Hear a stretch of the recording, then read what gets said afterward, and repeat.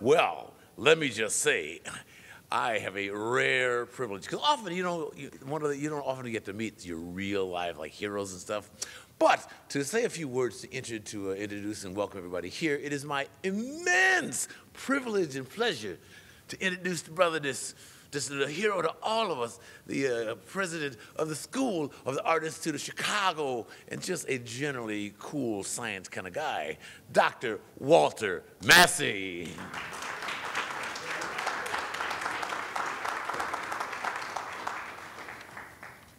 Well, I see why he's a success.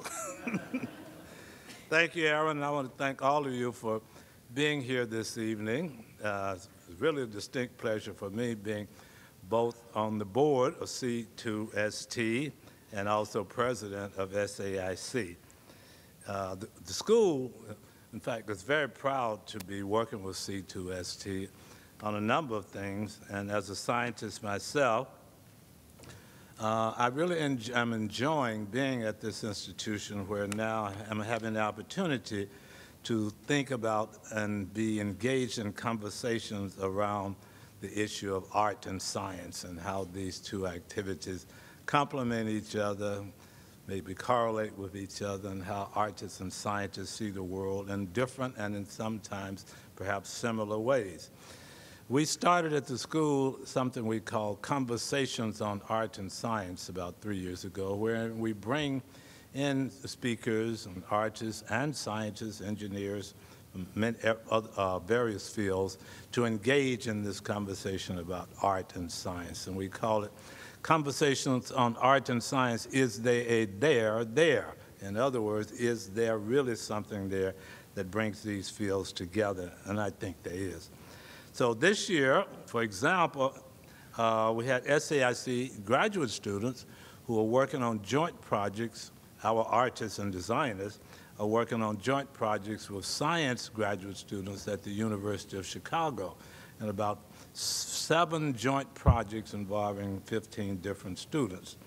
And that's under the auspices of the University of Chicago's Arts, Science, and Culture Initiative we have a, another course we started uh, called Data Viz, V-I-Z, was our, uh, in collaboration with the McCormick School of Engineering at Northwestern.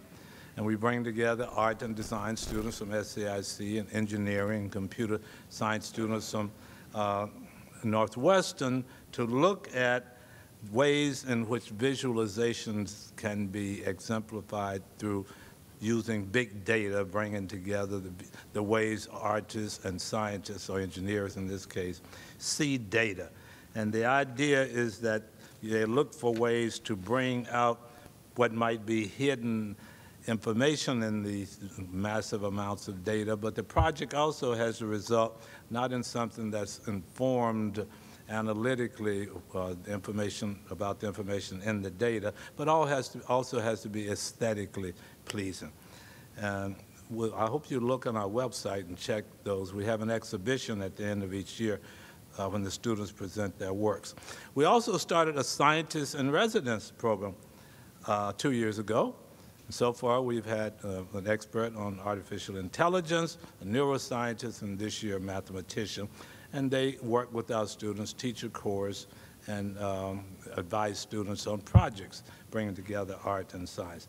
So those are just a few of the examples that we are doing, but as you know, there are many examples of artists and scientists working together across the spectrum in many ways around the country, and C2ST has been instrumental in bringing many of those kinds of activities here. So I want to thank all of my fellow board members, our leader Alan Schriesheim, uh, for making this happen.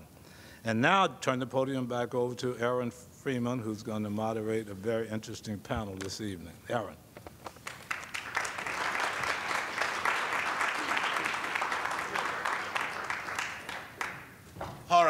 Uh, now, so for those of you who are not familiar, C2ST, the Chicago Council on Science and Technology, we who had the, the gang, just C2ST, it's all good, just hanging out at C2ST.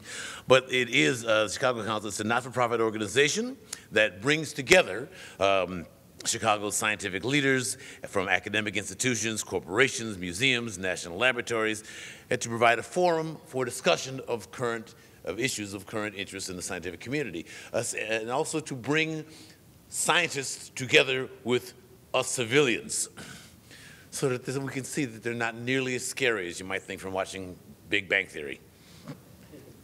Now, uh, we have, a, just so you know, we have a number of really interesting health-related programs coming up next month.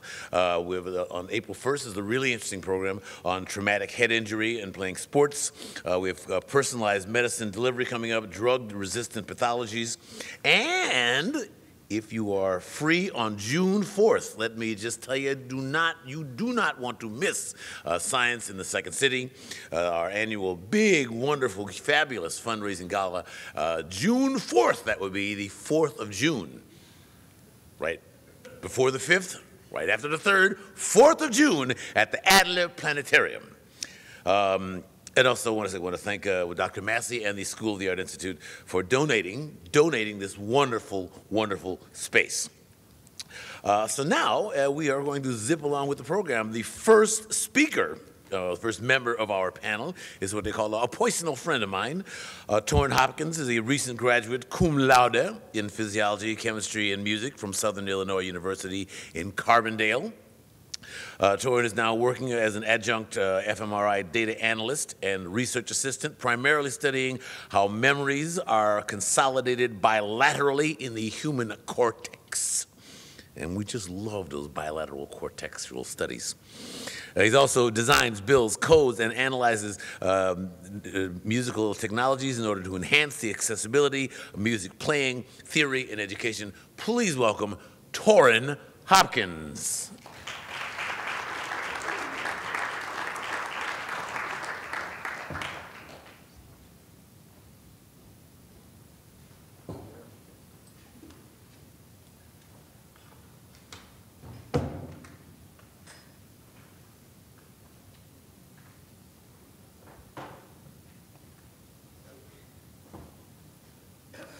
Thank you so much, Aaron. I really appreciate it.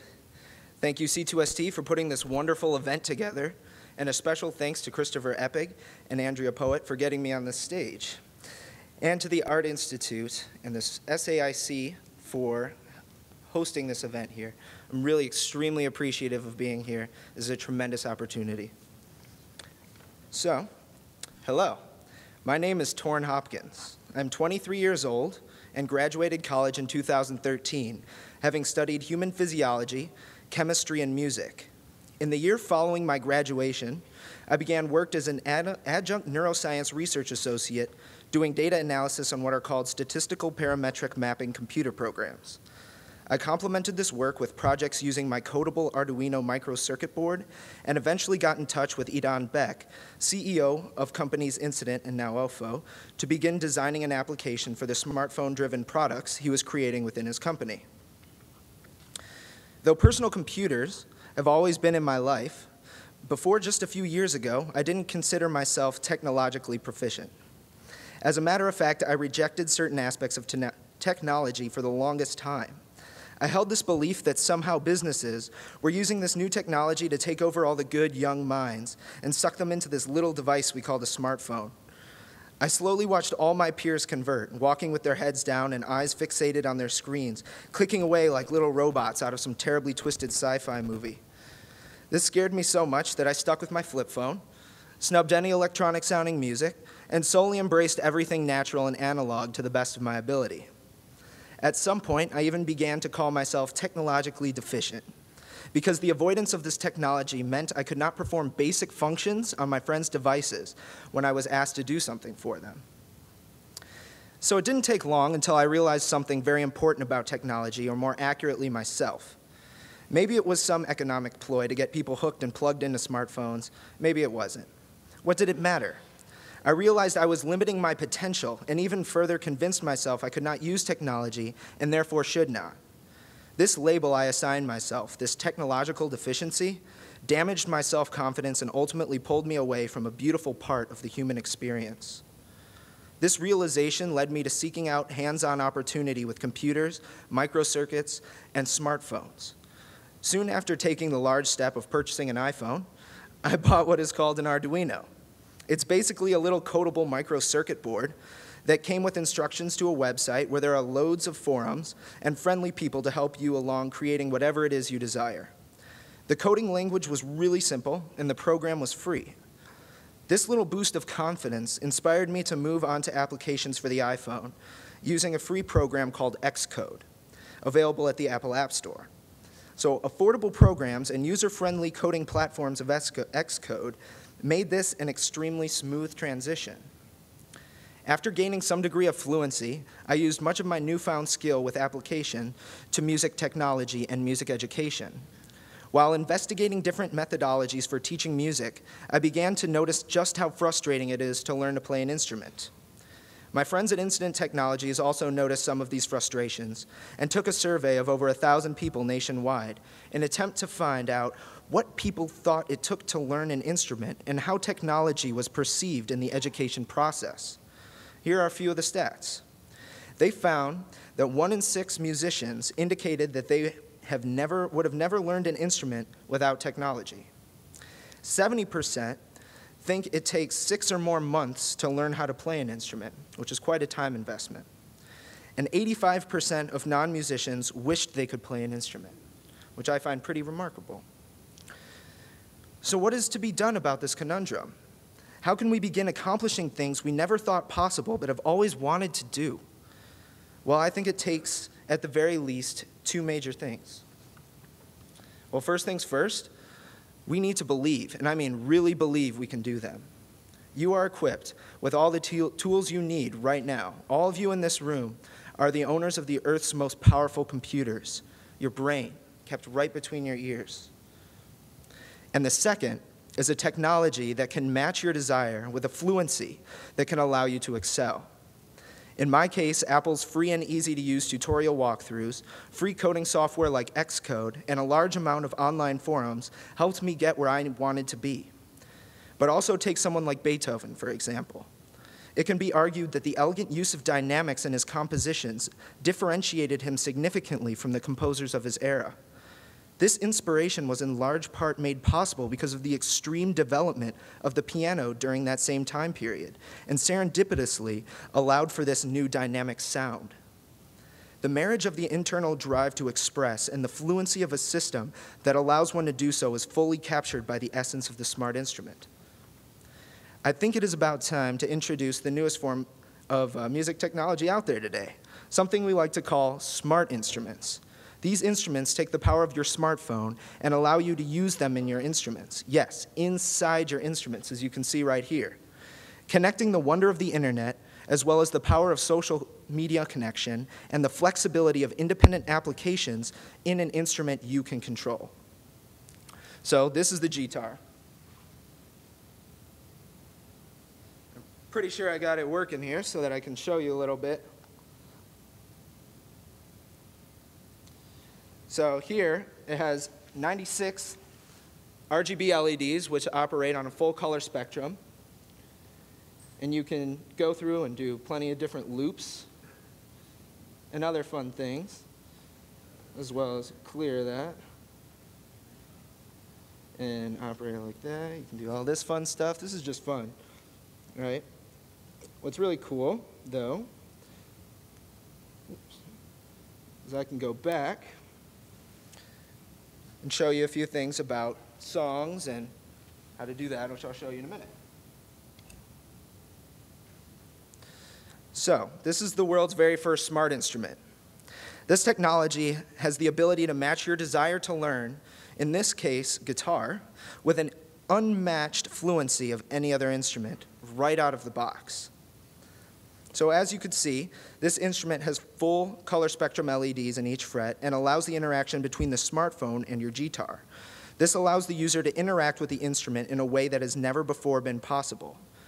Equipped with a large circuit board and a docked smartphone, the guitar produces sound by reading where you have played a note on the fretboard and relays the information down to your phone, where it either projects to the phone speakers, out to an amplifier, or via USB, which you can plug straight into your computer.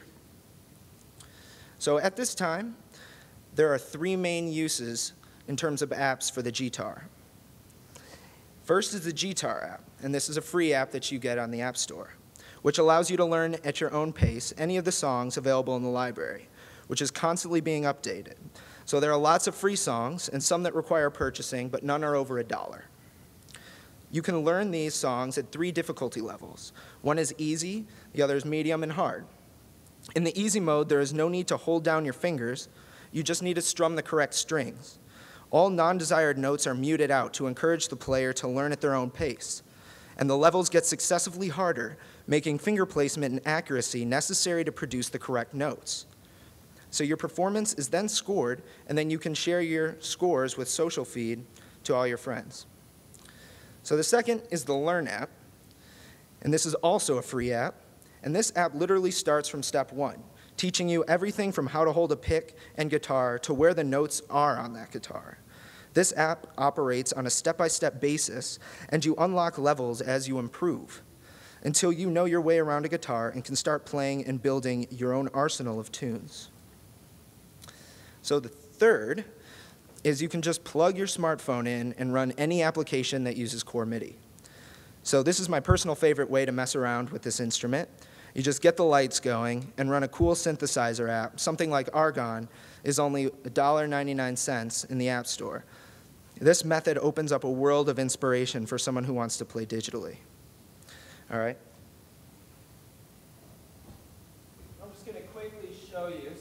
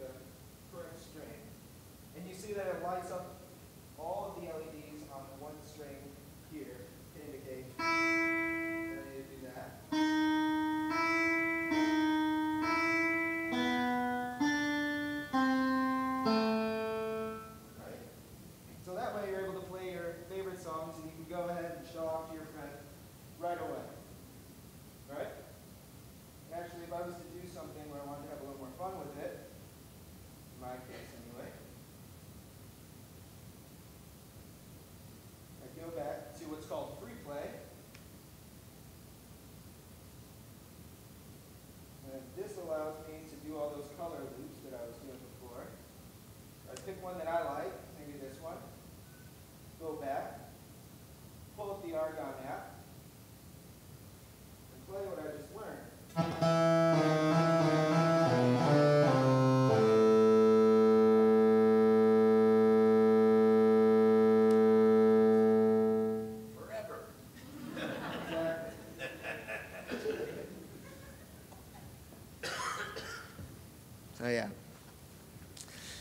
Now this product debuted on Kickstarter just a little over two years ago, so major improvements are still to come on all levels of this new technology. Devices such as Keys, a smartphone dockable piano keyboard, have just recently hit crowdfunding sites like Indiegogo and are slated for production later this summer. This is a very exciting time for music. In an age where computer networks have never been more pervasive, knowledge and inspiration are surfacing everywhere. Musicians and engineers are working on the same projects every day, and we are all becoming more and more connected. Now, before I finish, I'd like to remind you of the two major elements I mentioned earlier that are required to accomplish your goals for learning new skills. One is an internal desire to learn, and two are technologies that match your drive with a fluency that allows you to excel. Now, the first is something we all have the capability to possess as individuals, but the second takes the cooperation of scientists to produce the technology that match the fluency of an artist's touch. And in this light, we accomplish a common goal, one that will remain connected as long as we exist and will continue to reshape our world. I'm Torin Hopkins. This is the gTar. Thank you very much.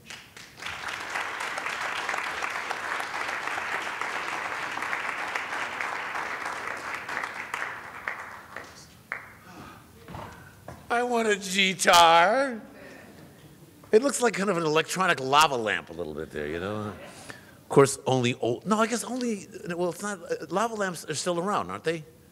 They still exists, yeah, yeah, because it's one of those things you think like, oh, it's only what you did in college when you got really stoned and watched your lava lamp. But now you can get really stoned and play your guitar. I like it, I like it, I like it. Well, see, the only problem with this kind of, with the guitar is that it, you can't really dance while you're playing it. You know, because I for me, the most useful part biologically uh, uh, of music is dancing.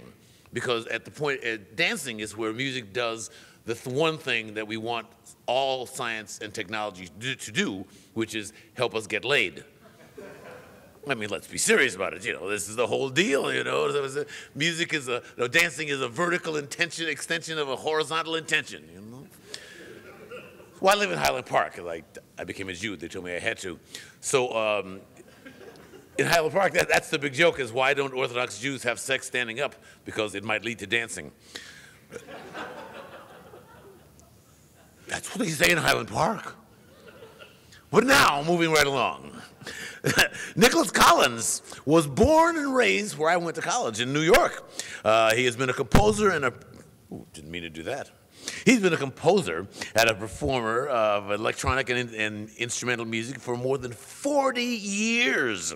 He has presented over a thousand concerts and installations worldwide. He spent the 80s uh, performing, in, recording, and touring the US, Europe, and Japan as a solo artist, as well as co in collaboration with various groups. He returned to the U.S. in 1999 to join the Department of Sound at the School of the Art Institute of Chicago.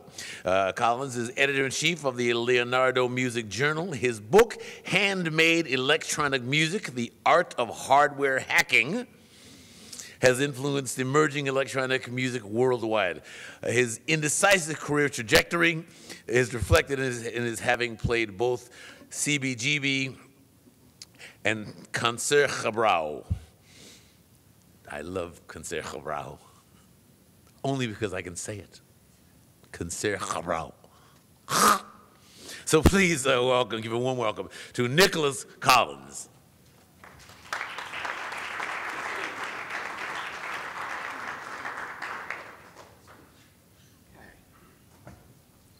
Can we switch me over here? Yep.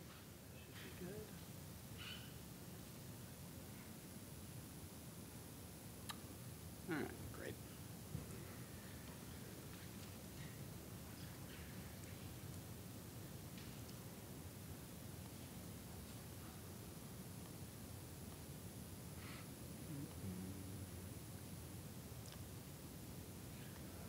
Okay, thank you very much. Um, Yes, I actually work right upstairs here. I uh, teach in the Department of Sound here at the School of the Art Institute of Chicago. This is an unusual school in that um, very early on in the 1970s, they decided that sound was as legitimate an art material as the ones we usually think of. And therefore, um, it's had a very experimental and progressive approach to uh, working with sound that occupies a place quite different from most traditional music. Now, if you read uh, even ordinary papers, you find that sound art is a term that's becoming much more prevalent. It's becoming a much bigger business. But uh, at the time that the program started here, it was definitely out on the fringe. What I'd like to uh, do today is uh, talk about the, the two parts of this in sort of two separate sections. I'm going to start by talking about technology, which very often is confused uh, with science, and it's not the same. Uh, but it's obviously informed by science, and uh, there's a lot of science that goes into making the technology that we depend on in our life. Um, I started out doing music when I was a teenager, and I, I was involved with electronic sound almost from the beginning. But this was at a time that's difficult for, I think, for many of you to consider, which is before computers and before smartphones and before guitars. And um, I'd say that the biggest difference technologically wasn't so much in what you could do with the technology as in the cost of it. You have no idea, you young people, how much power you get for so little money at the moment with things like phones and computers. It's, it's, it's really uh, mind-boggling. Things were more primitive and more expensive when I was younger, and in the age before portable personal computers, uh, the only electronic music one could make as a performer depended on, in this country, making your own instruments. We had no institutions that supported electronic music here the way it happened in other countries, for example, in Europe. And unless you were a rock star, you couldn't afford a synthesizer like a Moog, so you made things. And you made them not very well, generally speaking, because you were a musician, not an engineer. Um, so that's how I started. And then throughout the 80s, the computer rose up and supplanted all these simple little homemade circuits with, as I say, these remarkably powerful, configurable devices. But then we get to um, 1999. I'd been living in Europe for many years. I ran out of money. I had two hungry children. And I uh, took a job here at the Art Institute, which I hope has been of mutual benefit. My children have grown and not starved to death, and I'm still here. So, um, 1999, the computer was everywhere. It was in every department of this school. It was on every concert stage. And yet, uh, when I arrived, it was like the morning after a party, and everyone was a little hungover. There was like a kind of a digital hangover. Um, overindulgence. And what my students presented me with was the following conundrum, which is visual artists, no matter how sophisticated they are working with video and holography and rapid prototyping and everything else like that, they all started out messy. They all started out scribbling. They all started out doing things with their hands. And that is a really key driving instinct in most people who call themselves artists is the touch of the hand. And for all the power you get in your computers, uh, the hand is not very well connected to the computer. The computer is a much less playable instrument than a snare drum or a banjo or a violin or a piano. And I'll take that argument up with anyone because I've been trying to play them for 30 years, okay, and I know what I'm talking about. So my students were caught in this quandary, which is they were raised on electronic sound. That was their world. They wouldn't know a violin if one bumped into them in the street, okay? But they wanted to touch sound. They wanted to touch it and work with it the way they drew, the way they used a paintbrush, or the way they played a guitar or they played a drum, all right? So they found out that I was from another time when that was a more prevalent way of working. Little circuits, little things that you actually manipulated directly with your fingers. And they basically cajoled me into putting together a course, and that kind of snowballed. It was like a virus that got out of control. And it led to a book, and the book led to a lot of workshops. So what I want to do now is I want to show you a short videotape hopefully our sound is running, a short videotape that, that walks you through what happens in these workshops. And what I do is I go and I work with groups of people who may have no experience whatsoever with any technology, and we start with very simple experiments, and we work our way up to the point that they're actually designing circuits from scratch the way one might in engineering school. And I stress three things in the workshops, all right? One is making performable instruments that work with electronic sound, that bring back to our electronically mediated world that sense of immediacy that you have with traditional instruments. Okay? The second is using that technology to make new ways of hearing things. We make a lot of very inexpensive and very unusual microphones because all of you are listening to music through earbuds these days. All of your music is electronically mediated. If you can affect the way that that music enters into the recording process, you, that is like the first step towards transforming and personalizing sound to make it your own. And the last thing is more of a sort of a philosophical or moral issue, which is we depend more and more and more on technology that we have less and less direct understanding of.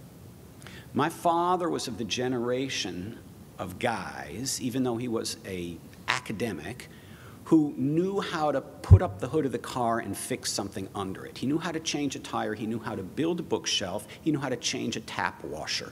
These are skills which, by the way, are almost gone today, all right?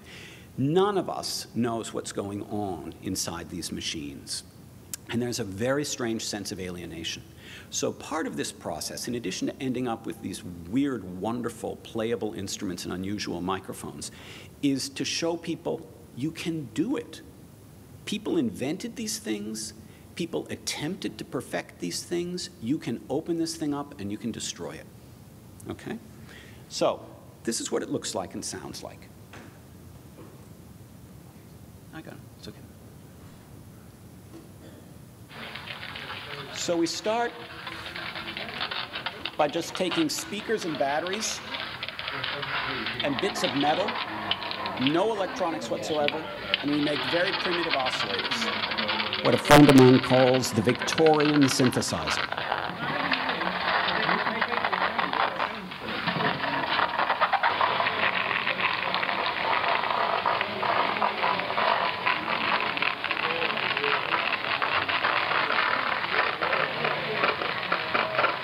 So everything's out in the open. The speaker becomes a musical instrument. And you activate it just by giving it a jolt from a battery. And it becomes a visual instrument.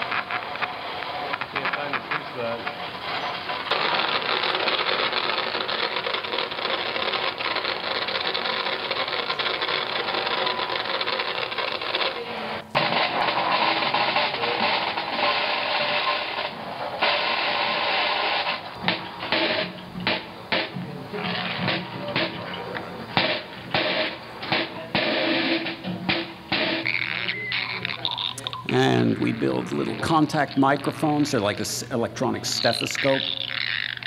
Here they're creating music with feedback.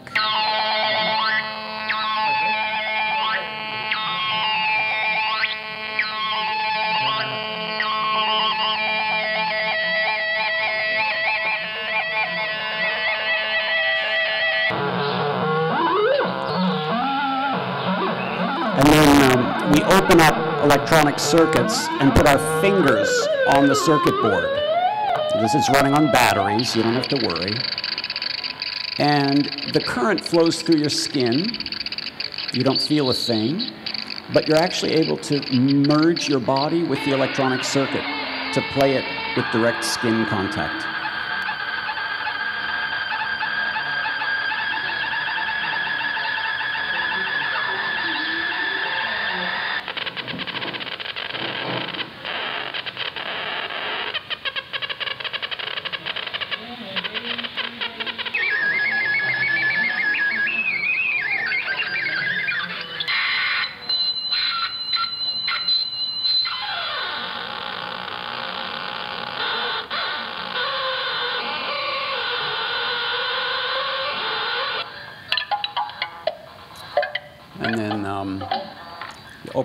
Electronic toys and make substitutions of components to make very simple children's toys much more playable in the style of instruments. Here we start building our own oscillators, which can be controlled by light or skin contact or pressure. And here you see a number of variations.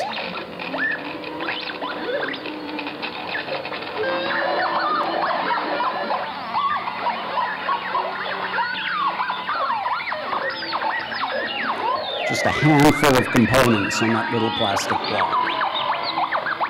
We work a lot with light. It's a very responsive medium for control.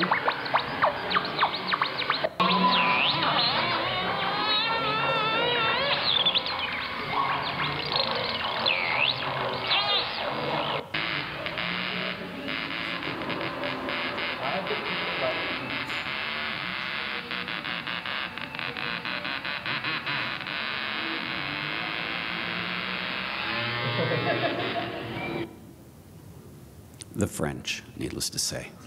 Okay, so, um, no, no, no, no, no, no, no, no, no, it's premature.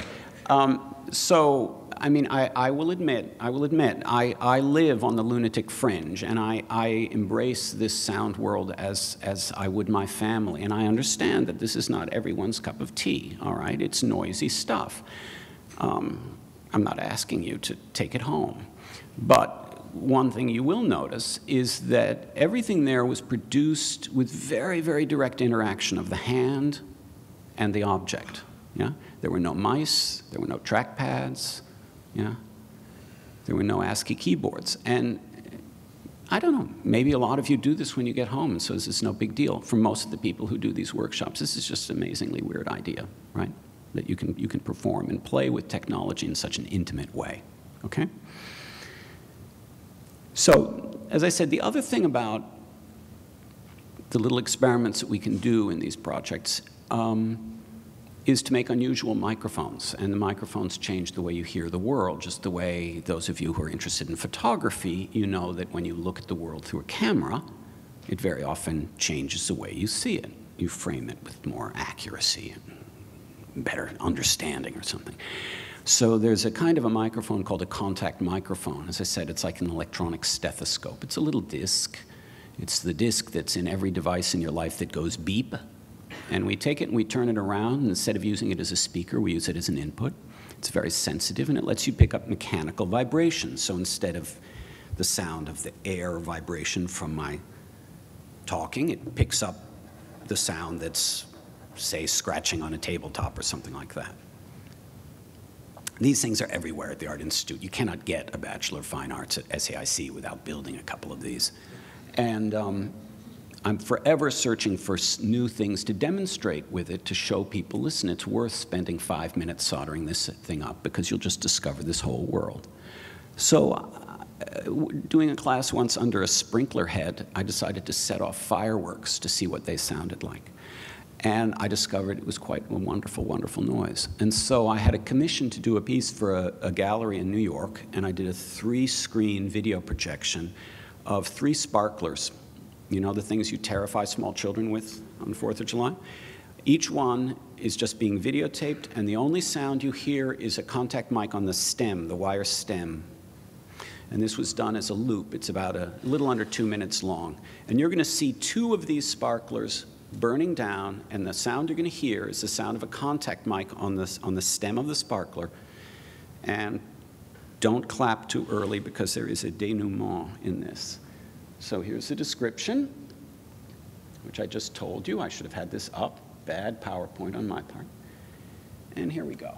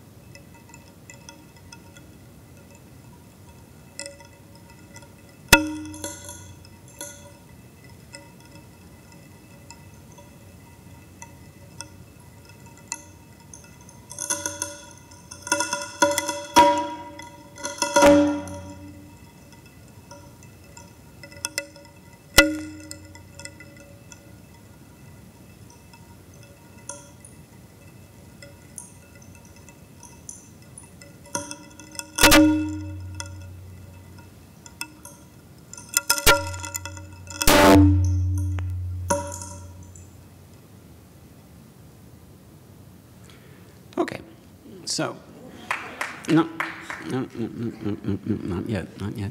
So here we're gonna we're gonna transition from technology into science, okay?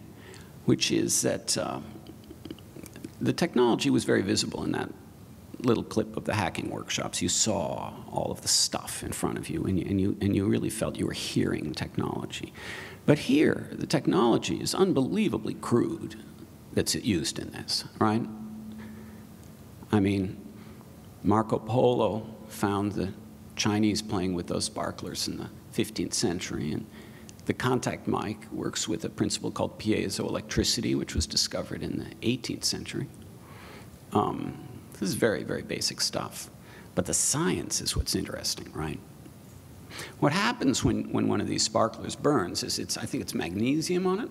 it burns at a very, very, very, very, very high temperature. And uh, you have this little metal rod, little metal wire that is a couple of thousand degrees at one end and room temperature at the other. And something's got to give. And that's what you hear. What you hear is the differential cooling of that metal bar as the burning stops and it tries to bring itself back down to room temperature. And that snap and pop is just like playing the bar of a marimba or a xylophone, but it's being done by the, as I say, the differential cooling of the bar. It's as if you had a Fender Rhodes piano that was played with fire, right? Because it's just like the tines in a Fender Rhodes, for those of you who are aficionados of that instrument, okay? So here we used a very simple technological device to get this microscopic view of this gorgeous sound phenomenon that nobody ever hears, even though kids all over the country are waving these things at their brothers, right? So that's where we get into science. Now, admittedly, as I say, what I was showing you is some pretty noisy stuff. And I realize that isn't everybody's uh, favorite thing to listen to. So I'm going to make the science move a little bit more complete now. And talk a little bit about acoustics, which is the other thing that interests me a lot. I think, I think it interests most musicians and composers one way or the other. But um, I'm particularly interested in it, in it because um, I, I, come from a background with very little musical practice. Both my parents were architectural historians, and, and my childhood was spent in concert halls, but looking at the building rather than listening to the music. And then when I went to university, I studied with a composer who was famous for doing some very early, very radical pieces that dealt with architectural acoustics as musical material. And this, this became a very important thing for me, and it's something I've worked with for many, many years. So I, um, I'm very interested in, in performance and playing. I'm not interested particularly in making records or working with technology that plays everything back for you. I, I tremendously working with extremely talented musicians in many places. Musicians are usually much better at making musical decisions than I am at making them, right? I'm the kind of composer who likes to grant a musician a fair amount of freedom. So I figured out a way to use my computer to make an acoustic analysis of any space we're in. It's not a difficult thing to do. You know, when you're in the shower and you go, oh, and there's one note that's louder than all the others, right? Well, I'm using a program I wrote here on the computer to do an analysis of this room. We're going to run it right now. We're going to do this piece in front of you. And what it's going to do is it's going to analyze what are the strongest resonant frequencies of the room. That is, what are those fundamental notes? What is the low E string of this room? Okay? And a room's a very weird shaped thing, so it isn't as regular as you get in most musical instruments. It does the analysis, and it's going to put the pitches up here. The strongest one is going to be on the left, and the weakest one is going to be on the right, and they're going to come in one at a time. You're going to hear it, you're going to see it. And we're going to get like a sort of a melody or a tone row that is this room's song, for want of a better term. Every room has a song. We're going to hear this room's song. And at that point, what would normally happen is all the electronics would stop, and musicians would be playing regular instruments, reading this score, and following a particular set of instructions I give them to play variations as if it's like a jazz chart. all right? Those of you who are familiar with working from charts. You see some notes, you play on it as a chord, you go on. All right? So, here we go. We're going to start with the analysis, and then I'm going to have a very dumb musician who I programmed play piano variations on that thing so that if you don't read music, you don't have to worry about it. Okay? So here we go.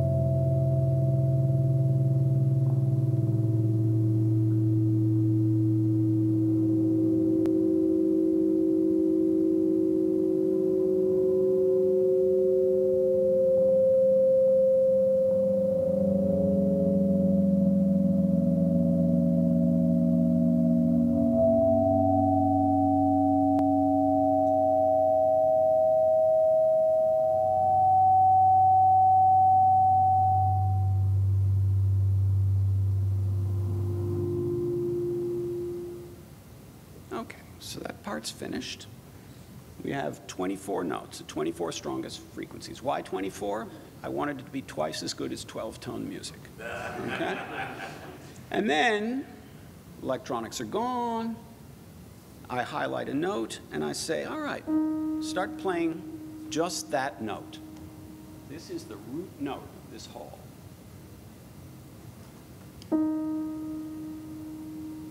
We may have 16 musicians, we may have four, we may have 50. And you're just getting all these people playing this one note. As my father always used to kid me about my music, one note blues. And then, ah, little variation. We now can pick, make patterns out of those two.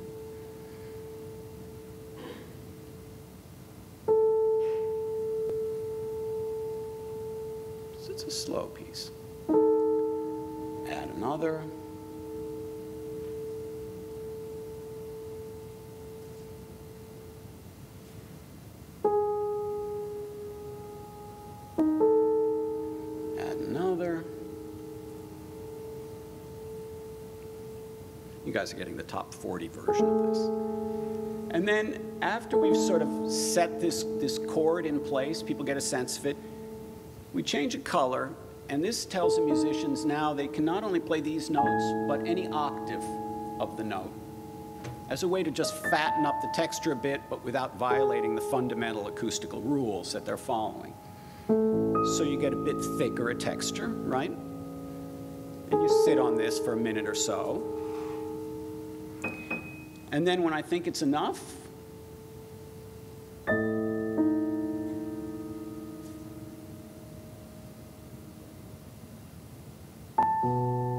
and you get a chord change. We've moved to a new chord. We've gone from one to five or wherever.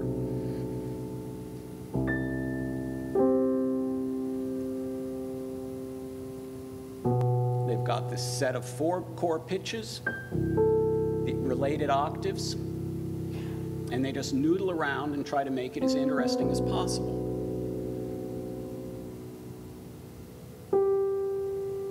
And after a minute or so, you get a sense of what the tonality is at this point in the row, and then you go.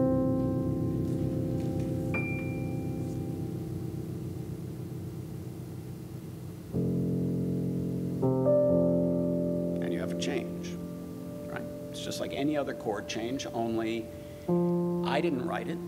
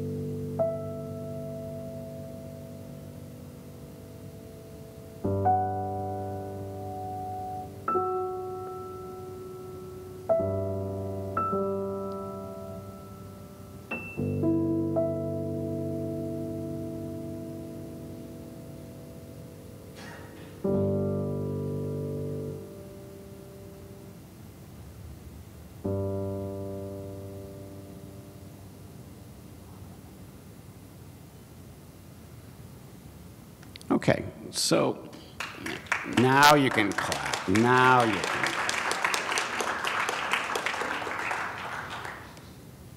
So I apologize for the insipid piano playing, but I couldn't bring the band on stage with me. Um, the thing about music with a minimal amount of information is it makes maximal use of the human brain to turn it into something interesting. And as has been mentioned, the human brain is much more powerful than this, okay? But you can get some sense of how, as we move from, from the strongest tones of the room to the ones that are furthest away, there is some weird sense of movement. I mean, it's not like any ordinary song you probably have heard on the radio, but there, there are these mystical little changes that take place. And those of you who know the music, say, of Erik Satie or Morton Feldman, there's a certain similarity in the sort of ambiguous tonality that comes out. So, in any case, um, that's my take on using the science of acoustics to produce something that is, well, by my consideration, is in the domain of art. Okay? And I think that's all I have to tell you. Thank you.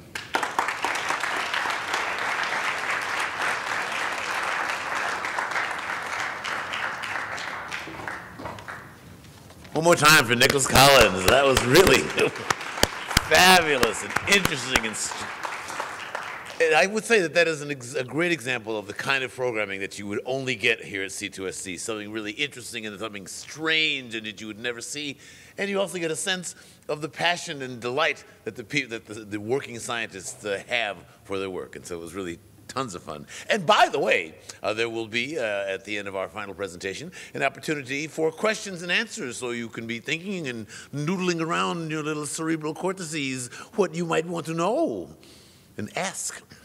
But our final speaker this evening uh, is Doug McBride, who is a music producer, mixer, mastering engineer, multi instrumentalist, and owner of Gravity Studios in Chicago. He began his career as an artist who garnered interest from Atlantic Records, then cut his teeth in production work at the Chicago Recording Company. I've done much work down at CRC myself. Uh, in the early 1990s at CRC, uh, Doug worked uh, on many projects, including Cheap Trick's uh, Budokan 2, Izzy Stradlin's first solo album, and Dog Eye View, he then founded Gravity Studios, uh, and the first band he worked with was uh, Veruca Salt, producing their hit Seether. He's continued to work with numerous local bands, uh, including uh, the the, uh, the uh, Woolly uh, label, whose producer, uh, whose the owner, I think, is here. The label is here, right here. There he is. so thank you for coming. Don't mean to embarrass you. It's all right. We're not going to make you stand up or anything. It's all right, you know. But. Doug McBride speaks at conferences and colleges around the country, teaches recording classes at Tribeca Flashpoint Media Arts Academy. Please welcome Doug McBride.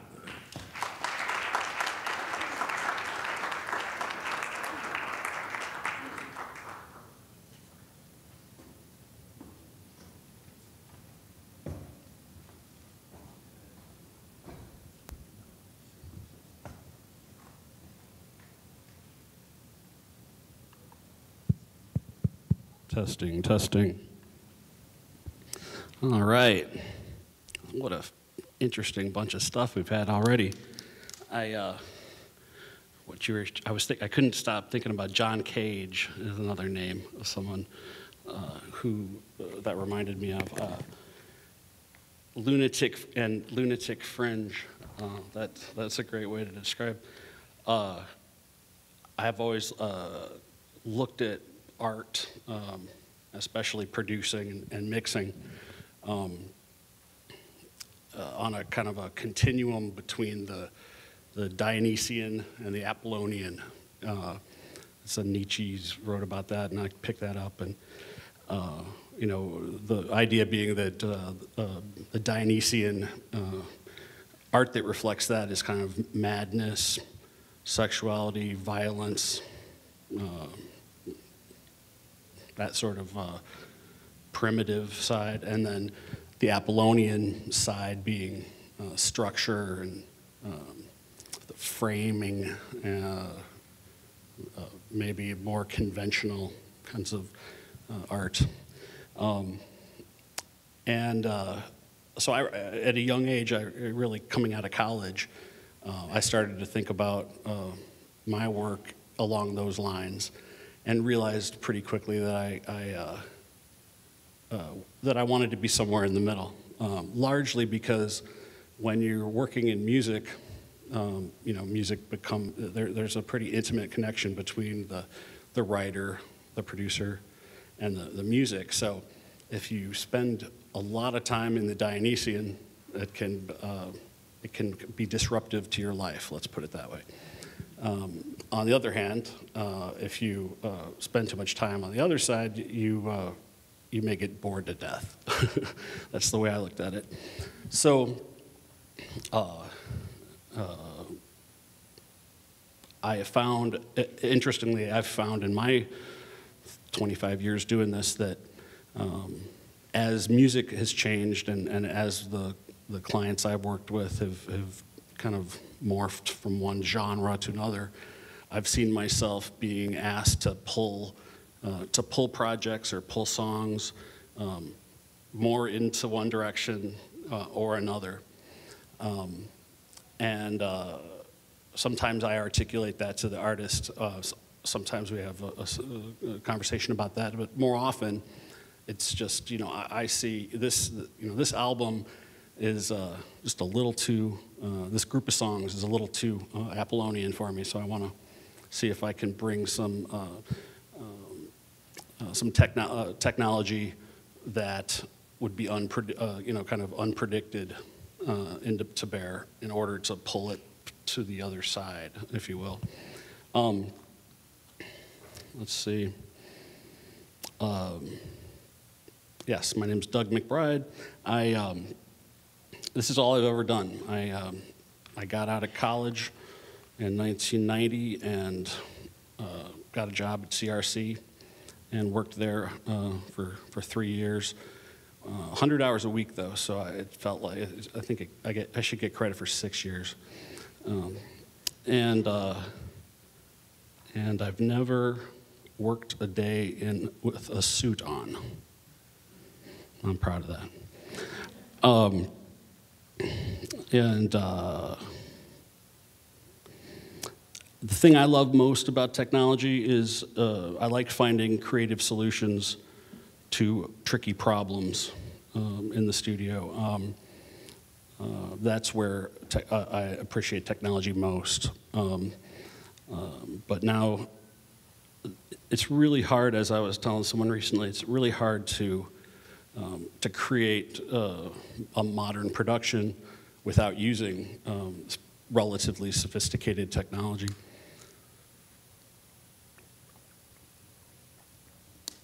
The computer program that that I use for a lot of uh, my work is called Pro Tools, and it's the kind of industry standard software. And it's, uh, it's kind of a rabbit hole. You can go down as deep into it as you care to. But someone told me it was the, uh, the, the, Pro Tools, uh, the software was originally designed, I think, in like 1990 or 91 or something. And uh, someone told me that it was the most uh, complicated, essentially, um, densest, uh, most involved software that was commercially available or that was used commercially. Um, and uh, the, uh, the, the irony, and I think you touched on it, was, is that um, the technology cuts both ways. Um, sometimes it's uh, undeniably helpful and, and helps us without question. And there, there's some times where it sets us back a touch for one reason or another. And with regard to the, the DAWs, is what we call the Pro Tools and similar uh, recording uh, medium, uh, digital audio workstations, they uh, everyone gets one. It's called GarageBand. If you've, uh, uh, some people have seen them when you open up a Mac. If you ever had a, a Mac laptop, you got a free copy of GarageBand, and it's a, a, a nifty and well thought out software. Um, and it's a, you know, it's a very simple version of Pro Tools, essentially. And it's, uh, uh, it's terrific that uh, anyone can have that experience of recording and capturing their ideas um, and making, learning to make music. And so we've consequently got a lot more content. There's a, thousands and thousands of records made every year, um, as opposed to really probably a thousand made, you know, in uh, the 70s, for instance. Um, and so with that, um, there's a lot more um, kind of uh, semi-professional or um, homegrown recordings and produ- productions. Um, and some of the way that that uh, uh, works its way uh, into the culture and into the industry at large, um, I'll get to a, a little later. But it's uh, like I said, there's uh, there's pros and cons. I mean, if I were to touch on it briefly, I would say uh, there, the best analogy is uh, for anyone who's a photographer or who wor- has worked with uh, analog cameras. Um, if your dad had a Nikon or a you know Pentax or whatever, they're um, when you when you see uh, photographs that were well well taken uh, that are 15 20 years old um, there's a uh, there's a certain um, smoothness a certain um, uh, there's something about them that's uh, more engaging um, more involved I guess than what you get with a high with a high powered DSL or, or DSL camera or whatever. Um, the there's it's a, there's a similar situation with analog and digital technology and audio, um, where at best digital audio can be transparent um, from a sonic point standpoint. Um, the best it can be possibly is transparent. Uh, it's not going to necessarily, it doesn't in and of itself uh, provide any, um, any improved quality uh, unless you're talking about sample rates and stuff like that, which is another thing. Um, with the older technology, um, uh, it was sort of the opposite, where um, there were transformers and tubes and uh, uh, oxide on, on, on analog tape. And each of these things added essentially second and third harmonic distortion, which, um, as you can tell by the name distortion, it's uh, something that uh, the, guy, the guys at that time thought was a bad thing, but it was pretty much unavoidable. So, consequently, when, when people say, you know, I love the sound of old recordings, uh, um, what they're saying is I, uh, they, they love the sound of second and third harmonic distortion, which, uh, and there's nothing, uh, and crossover distortion. And I'm, I'm one of them. I think that there, I think that some of my favorite records, uh, I can, uh, I've done research on them, and sometimes I don't need to do research. I can tell that they've been, uh, that the instruments have gone through a lot of, a long signal path, I guess you could say.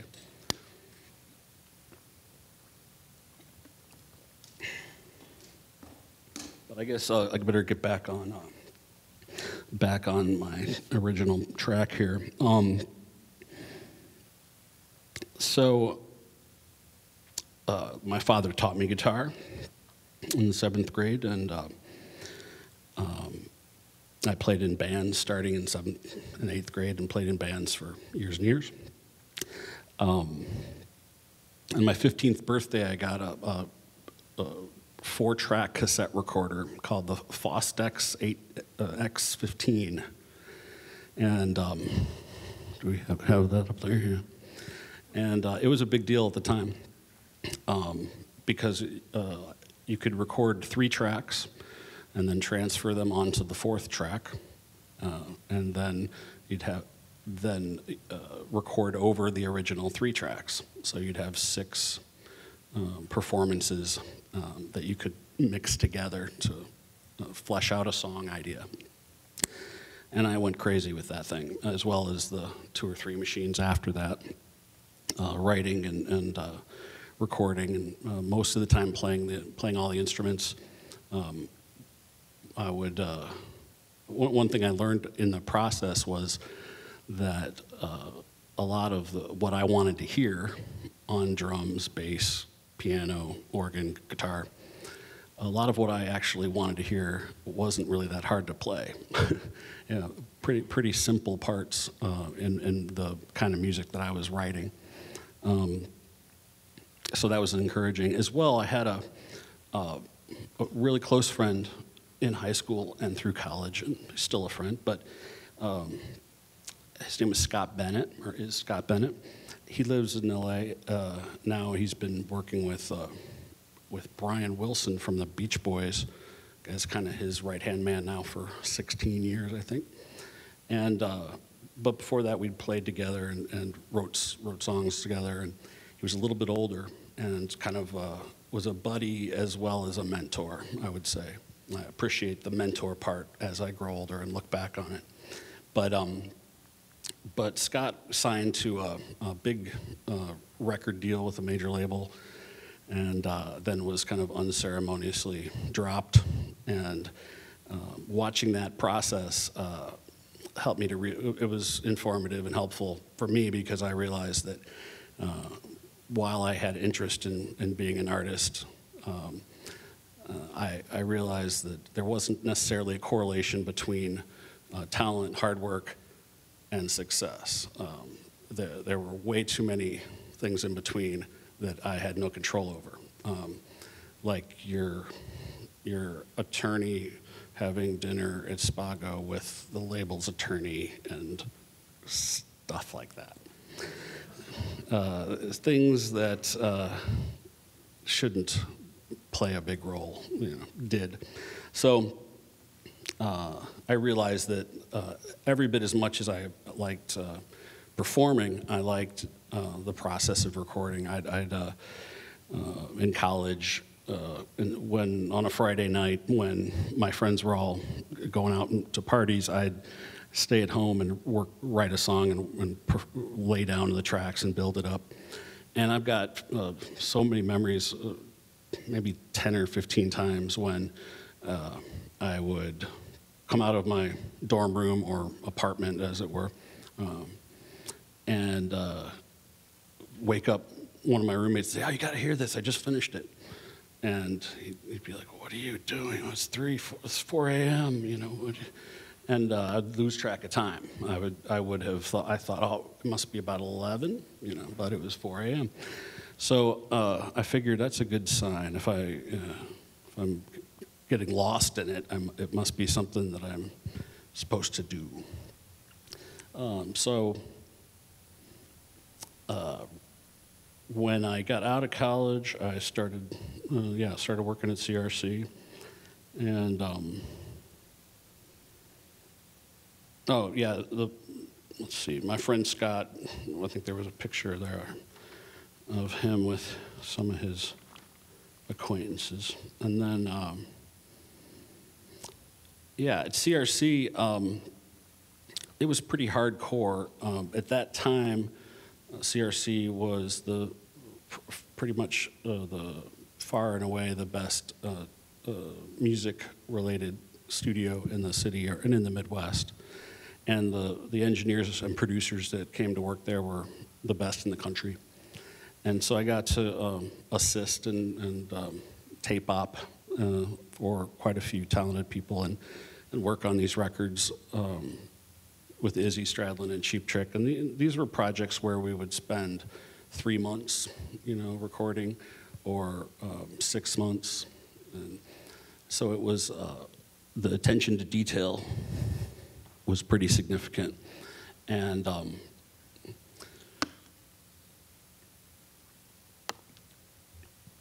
and there was a pretty large amount of technology to be learned in order to pull that off. There were uh, uh, one of my friends, Chris Shepard, who's still um, he's the manager at CRC now. Uh, we kind of cut our teeth there together, and when I first got there, uh, he said, "Whenever anyone tells you to uh, ask you to do something, even if you don't know how to do it, just say yes and then figure it out. And I thought that was, it was uh, scary, but I thought it was pretty good advice. And luckily, there were enough guys that worked there, enough engineers, that I could always find someone who, who was 10 years older, who had lots more experience, and I could say, "Hey, I've got a, I've got a famous band coming in. Can you show me how to route, route the microphones through the SSL?" And and, uh, uh, and I'd get enough assistance to to get through it. Um, so it's kind of being thrown out of the proverbial nest. But um, after uh, after those three long years there, I started Gravity. I was I was 24 years old, yeah.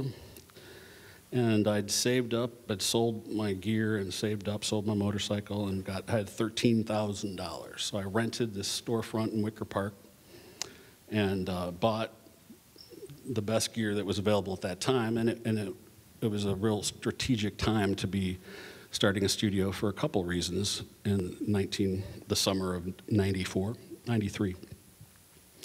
Um, Alesis ADATs had just came out, and this was a technology that used like uh, VHS cassettes to record eight tracks of digital audio. And uh, the, the, so the sound quality was, was better than uh, the, the reel-to-reel machines that were at that semi-pro level, um, the Tascam and such. Um, and uh, so I started the studio, studio off with uh, a great deal of experience, um, um, but pretty limited equipment. And um, the, you know, the, the first uh, Seether for Veruca Salt was the first three days of the studio. Um, and then the, the just kind of went from there with uh, pumpkins and Verbow and Bob Mould and cupcakes and um, ba- basically the timing was really good. And as I've told students, uh, uh, I, I, I used to say I, I was extremely lucky. But what, I, what I've learned is that luck is basically being prepared for opportunity. So I was really well prepared to start a studio. And so when these, these talented artists found, found me, I was able to convert. You know, I was able to do a, uh, it wasn't unusual for me to work extra hard and late and et cetera in order to get it right. So that was uh, the beginning of Gravity. And what, uh, as, as the uh, cash became a little better, um, I, uh, rather than sticking with the latest and greatest, so to speak, from a technological standpoint, I did something that was somewhat uh, unusual at that particular time. It became normal later. But I went to vintage gear. Um, uh, so I start. I got a Studer reel-to-reel tape machine. Um, picture of that up there, yeah. And um, you know, this thing weighed, I don't know how many, 800 pounds or something. It was unbelievably heavy, but um, sounded phenomenal. And uh, had, got a, a Neve 8058 uh, console from 1976, which we had for a decade. And uh, for the next 10 years, uh, the, the idea was uh, to uh, capture, this, capture the sound um, utilizing second and third harmonic distortion, you know, getting um, those transformers and tape to um, cut off the harshness, uh, to saturate the, the, the drums and the guitars um, in such a way that they still had aggression, they still sounded um, powerful, but they didn't hurt your ears. I was, uh, I was keenly aware at that time of how my favorite records um, of, the, of that time, and, and also in the 80s as well, the uh, records that I thought sounded the best were uh, utilizing uh, a lot of this, this technology with tubes and transformers, um, and that the, they weren't as harsh on the ear. So you could listen at a louder volume without um, having to turn it down and without having to back off. and that, that that's been uh, something I've been uh, keenly aware of ever since. Um, uh, at Gravity, just for those of you, I- I- I'm sure there's people in the audience of all different abilities and have, who have an appreciation and understanding of the process. But for those of you who, who aren't as familiar, basically, um, the process of recording al- um, music is um, uh, in the genre that I was working and, and still do is uh, tracking is the first step, and then overdubs, uh, mixing, and mastering. So those are kind of the four creative steps. So um, tracking inv- involving the drummer, basically. If uh, what we what we have traditionally done at Gravity is ask the band to play together. Um, in order to get a certain feel and to make sure that the tempo is just right for the vocals, um, and to, um, if there's adjustments that I feel were necessary um, to the songs, um, it, it was, I was happy to have the whole band there so that I could run it by everyone because uh, there's going to be one shot, you know, at getting this right, or else we'd have to set the drums up next week, et cetera. So um, tracking, uh, sometimes we would end up keeping the other instruments that we recorded, and sometimes we'd um, just use the drums, uh, edit the drums perhaps, on, which was in those days pretty crazy with two-inch tape and, and uh, uh, you know, with the, just the whole process was, was laborious compared to the way things are now. Um, mixing is one of my favorite parts of the process. Um, yeah. Thanks. So, um, mixing basically is that process of, of um, getting the instruments on individual channels, balancing them, and uh, balancing their tone uh, so that you can um, record them onto a stereo, uh, stereo uh, track. Uh, and mastering uh, is the final process, and that's what I've spent a, a lot of time with. Um, so, uh, be happy to talk in the future about mastering, but it's uh, uh, basically normalizing and massaging the tracks, and that's what I've spent my time with. So, thanks for listening.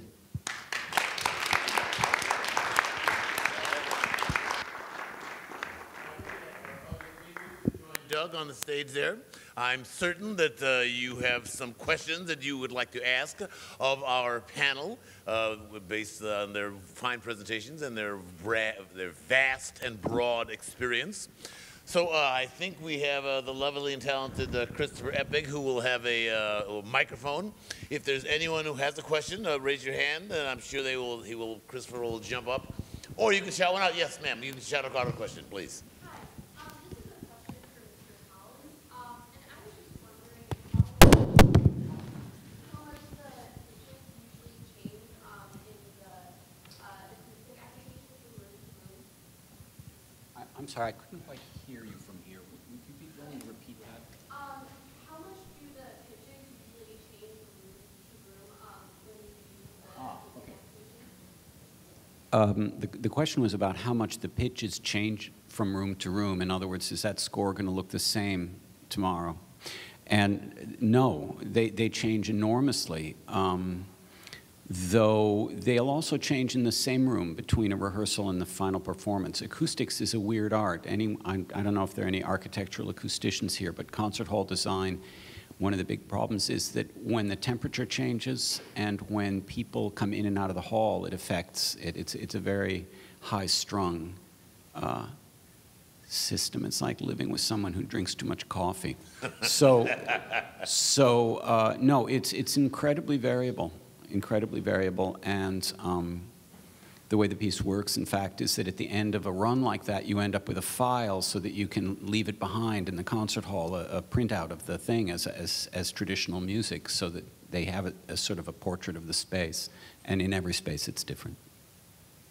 Great. How about another question here? Any other, uh, curious about the instrument, the, the guitar or Gravity Records? Mixing, mastering, engineering, cool musical stuff? Yes, sir. I think it's sir. Yes. Torin.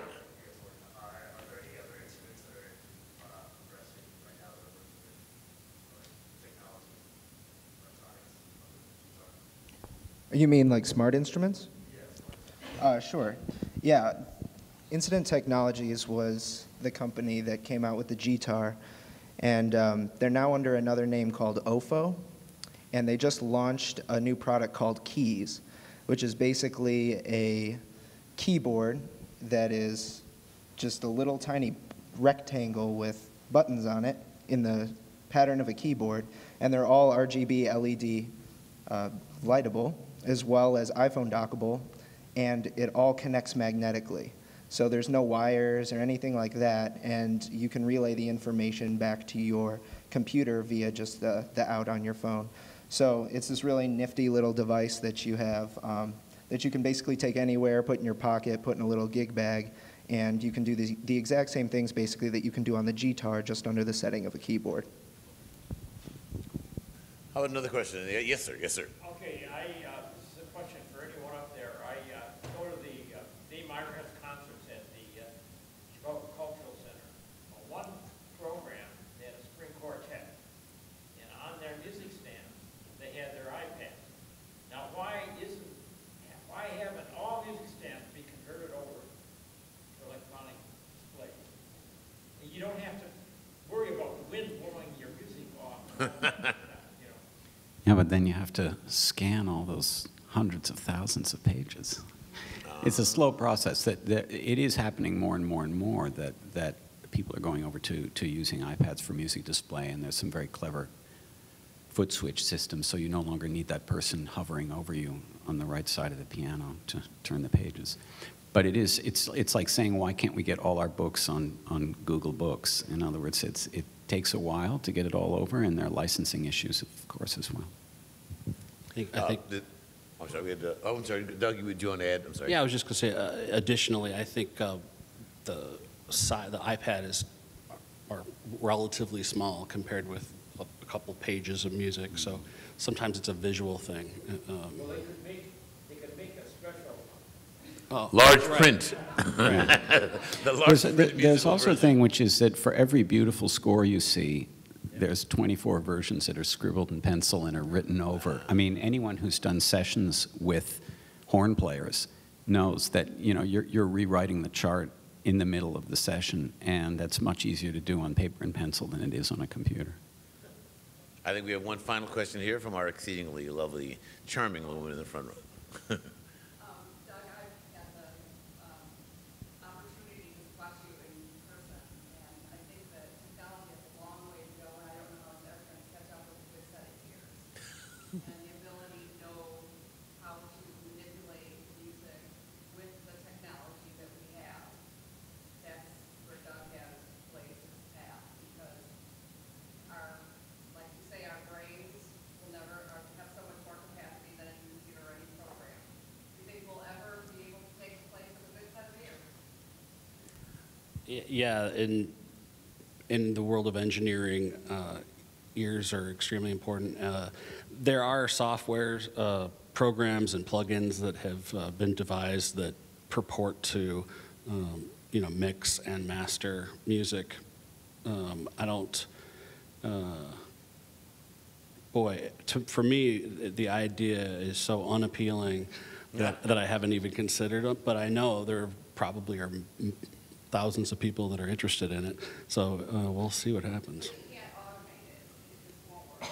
It's never gonna take, take the place of the human. Well, you know, they've said that year after year about Yeah, lots of I- things, you know. I think um, if, if you look at what's happened with facial recognition software, I mean, even e- even you just put snap snapshots into your iPhoto, and it's already trying to figure out who they are. So, I mean, there are obviously people working on this.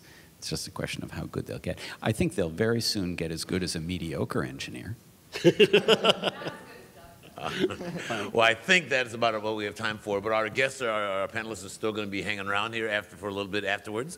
Uh, we want to encourage you all to uh, visit c2st.org to learn more about the fabulous programming we have coming up next month. And on June 4th is our fabulous uh, fund, gala fundraising event down at the Adler Planetarium. How about one more hand for our great panel? Our great panelists. They're still hanging around here. Thank you all very much for coming out.